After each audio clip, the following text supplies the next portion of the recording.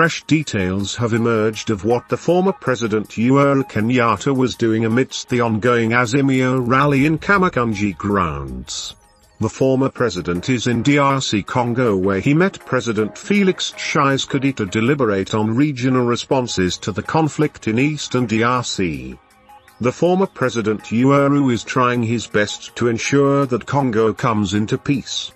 Taking to his Twitter page, he wrote, Retired President Uhuru Kenyatta joins regional heads of state and government and experts in Luanda, Angola for the quadripartite summit of the East African Community, Economic Community of Central African States, International Conference of the Great Lakes Region and Southern African Development Community, under the auspices of the African Union.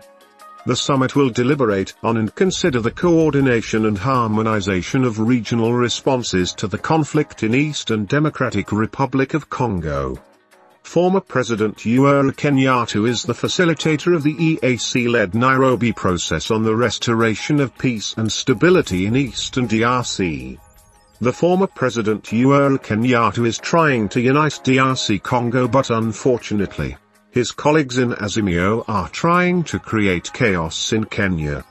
The former President Uhuru has refused to associate himself with the Azimio political mud especially after they lost elections.